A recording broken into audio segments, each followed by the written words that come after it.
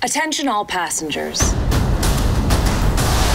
Snowpiercer is about humanity post nuclear apocalypse.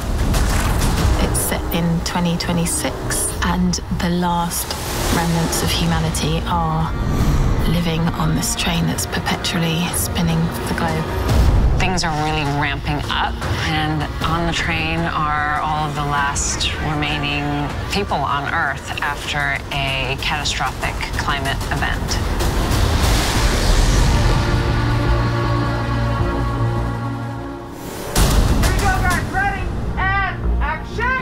Snowpiercer, we've got these really obvious boundaries between classes, between cars, and you can't go beyond a certain point if you're not allowed or if you're not a certain status. The back of the train, the front of the train, it's very clear. Every person has his or her place, um, his or her car, his or her station. Everything is monetized, everything is commodified, which is kind of familiar.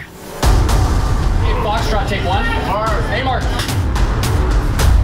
Welcome to Fight Night struggles for control or power or financial struggles or who has and who does not have, those all play out on the train. The show discusses the huge and very obvious divide between the rich and the poor.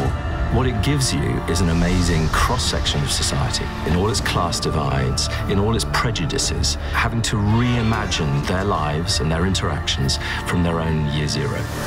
It is also an arc it is also the only place on Earth where humans are surviving. And the train does have to come first, because that's the only way that anyone survives. They need it, Layton. You need it to keep us in line. It reflects so much social upheaval, stories of immigration and incarceration, resource shortages, and climate change. It's about the most important story that can be told today. We have an extraordinary legacy to draw on from the novel and from the movie. And the advantage we have in TV is 10 hours. So there are many more characters and there's lots more stories to develop. And the sets are extraordinary, just epic. We ended up with something like 63 different sets of train cars. We've designed a lot of the sets to make them more easy to film in, that the, the sides lift off, that the roofs lift off. They actually shake, they move, they like twist and turn, they actually pivot as if, you know, they're train cars. Snowpiercer is epic. It's bold and imaginative and daring. What's at stake is humanity's survival. We can't hold on much longer.